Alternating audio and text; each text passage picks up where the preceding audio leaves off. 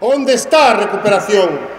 nos 3.900 postos de traballo que se destruíron na industria no último ano na cidade de Vigo, nos nove de cada vez contratos que son temporais e a tempo parcial, nos traballos por horas e por días con salarios de pura miseria que non permiten ni tan siquiera sobrevivir na brutal precarización das condicións laborais coas que cada vez temos que traballar por menos salario, no sector naval que volva a estar en coma productivo, na automoción onde cada vez hai menos xente traballando e cada vez en peores condicións.